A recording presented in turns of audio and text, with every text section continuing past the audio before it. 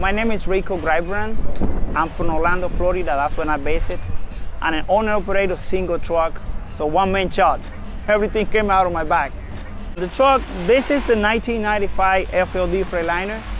As I told you, my first and only truck. I bought it on bad condition. I paid $6,000 only for this truck.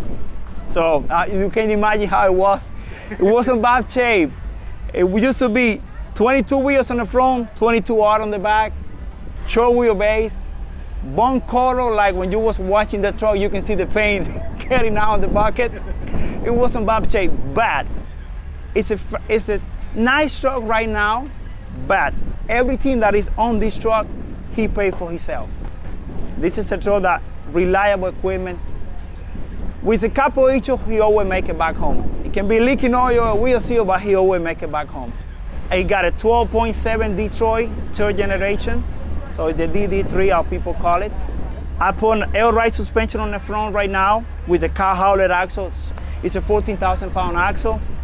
I got a PDI exhaust with one bus turbo. Everything is factory set up. I don't crank it, nothing crazy to don't break the engine. The aluminum custom work is all my idea. I went to the shop on St. Cloud, Florida. The guy is named Rumor Welding.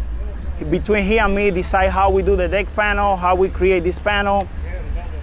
And he did the back, the back of the chassis for me too. So between us, we work together with the idea. Same. The car was painted by the guy in Orlando, his name is Will. He painted the cab, I did the prep, and I did the small pieces. Of frame, engine, all the small pieces were painted by me. I did all the custom drill for all my setup, all my wiring, all my lights. I put my fenders on it, my free wheel on it. Basically, it's done by me with a couple hands, but 99% of the part made by me. It's just a clean truck. It don't have many features, nothing complicated, nothing fancy. I nicknamed him Little Blue. So that's what his nickname came in, and I got on the back of the cab because I always say my little truck, my little truck. Since I decided to paint it in blue, I well, name pops up, Little Blue. It got a aluminum feet wheel, 10 aluminum wheels, custom T-bar, the custom deck panel with the lights on it. This is my toolbox where I carry all my chain, my binders.